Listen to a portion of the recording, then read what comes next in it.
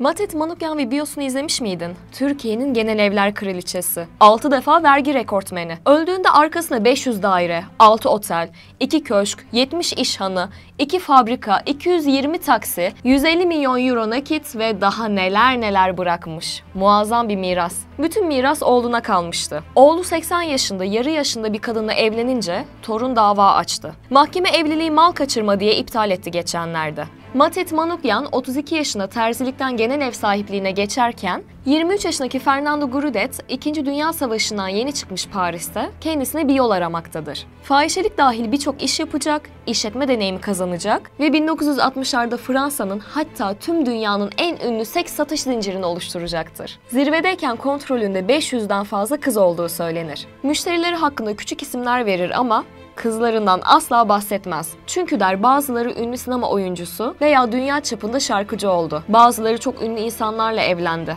Onların hayatını zora sokamam. Matet Manukyan genel evlerinde genellikle düşük gelirli erkeklere basit ve tek düze seks desek yanlış olur, bir hizmet sunmakla yetinir. Bir çeşit fabrika gibidir. Fernande veya meslek adıyla Madame Claude ise sosyeteye, politikacılara, hatta bürokratlara seksle birlikte deneyim de satar. Hatta bazıları bu deneyimi eşleriyle birlikte satın alır. Müşterileri arasında inanılmaz isimlerden bahsedilir.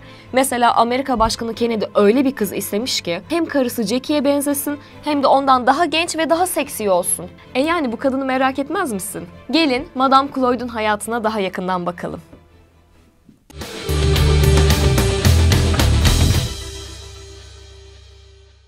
Asıl adı Fernando Grudet'tir. Matet Manukyan'dan farklı olarak felaket esrarengiz birisidir. Geçmişiyle ilgili bilinenler tartışmalıdır. Biyografisini yazdırmıştır. Ama sonradan biyografide anlatılan geçmişin pek de doğru olmadığı ortaya çıkmıştır. 1923'te Fransa'nın Enger kentinde doğar. Kendi yazdırdığı biyografide bir şatoda doğduğu, aristokrat olduğu ve babasının bir kafe işlettiği anlatılır. Manastır'da eğitim görmüş, burada mütevazı bir yaşam için yemin etmiştir. Kapı kapı dolaşıp İncil sattığından bahsedilir. İlk işletme deneyimlerini de babasının işlettiği kafeden almış olmalıdır. İkinci Dünya Savaşı Nazi Almanyası'nı Fransa'yı işgal etmesiyle zirve noktasına ulaşır. Fernanda henüz 20'sinde bir genç kızdır. Biyografiye göre Fransız direniş hareketine katılır. Almanlarla ilişki kurup casusluk yapar. Yakalanıp Nazi toplama kampına gönderilir. Bu kısmın doğru olduğunu, vücudunda toplama kampının damgasını gören bir arkadaşı tanıklık eder. Naziler yenildikten sonra savaş sonrası Paris'inde kendine yeni bir hayat kurmaya çalışır. Birçok iş dener. Bu işlerden birisi de fahişeliktir.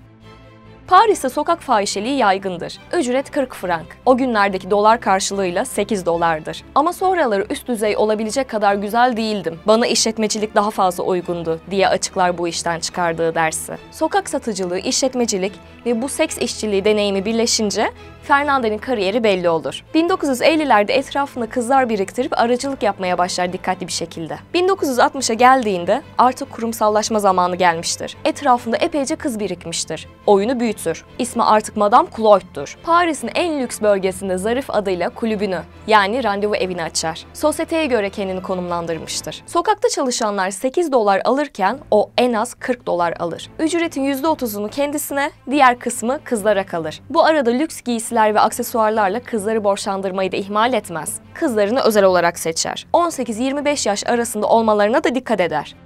Kızlar çok çeşitli uluslardandır birçok dil konuşabilirler. Genellikle eğitim için Paris'e gelmişlerdir. Hizmetinden yararlanan bir müşteri, kızlardan birisinin Avusturyalı olduğu ve Paris'te resim eğitimi aldığını, diğerlerinin de Alman olduğu ve bale eğitimi almak için Paris'te olduğunu anlatır. Çeşit isteyen müşteriler için de birkaç erkekle çalıştırır. Kulübünün ünü giderek yayılır. Sosyeteye, devlet adamlarına servis yapılan bir yer haline gelir. Bunlar arasından kendini koruyacak dostlar edinir. Müşteri yapısı iyice dikkat çekince Fransız gizli servisine de çalışmaya başlar. Bir dönem CIA ile de çalıştığına dair söylentiler vardır ünlülerin yatak sırlarını iletmesi için. Çok para kazanmakta ve korunmaktadır. Matit Manukyan vergi rekortmeni olurken Madame Claude vergi yasalarının arkasından dolanmaktadır.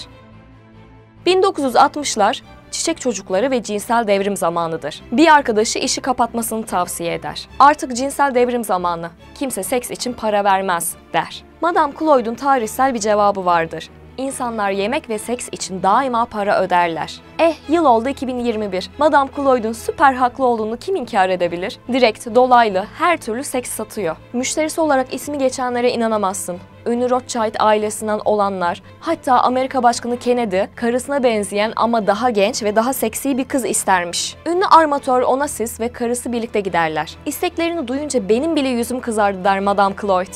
Fiyat fabrikalarının o zamanki sahibi Anelli, İsrail'in ünlü liderlerinden Moshe Dayan, Libya'nın lideri Kaddafi, aktör Marlon Brando, Fransa'nın efsane devlet başkanı de Gaulle, yine başkan Pompey. Ha, bir tek ben yokum. İsmi verilmeyen otomobil sektöründeki bir Türk de dedikodular arasındadır. Yatağın üzerine 10 bin frankı dağıtmış ve işini o şekilde görmüştür. Ancak işler hep iyi gitmez. Fransa'da iktidar değişir ve şimşekler Madame Cloyd'a dönmeye başlar. Konu vergi kaçakçılığıdır. Fransa'da seks işçiliği serbesttir ancak komisyon almak bir başka deyişle kadın satmak açık konuşursak pezeneklik yasaktır. 1976'da 11 milyonluk bir vergi kaçakçılığıyla suçlanınca Amerika'ya Los Angeles'a kaçar. Los Angeles'ın sosyete hayatına karışır ama hep gurbettedir ve ülkesine döneceği günü bekler. 1986'da iktidar değişince döner 4 ay hapis yatar. Çıktığında yine eski işine dönmek ister ama bu kez çabuk yakalanır. Yine lüks bir hapisin yolu gözükür. Saray gibi bir hapis hayatı geçer. Çıktığında artık bir emeklilik dönemi başlar. Nice yerleşir. Son 15 yılı orada geçer. 2015 yılında vefat eder. Erken yaşta evlenmiş bir kızı olmuş ama evliliğin kendisine uygun olmadığını anlayarak ayrılmıştır. Kızını annesi büyütür. Giderek koparlar. Normal bir hayatı ve evliliği olan kızıyla Madame Cloyd'un ilişkileri tamamen kesilmiştir. Sokakta karşılaştıklarını artık selam bile vermeyen kızı aslında Nice birkaç sokak ötede yaşamaktadır. Nice onun için yerleşmiş ama ilişkilerini düzeltememiştir. Yalnız ölür. Biyografisi 1977'de ve 2020'de film yapılır.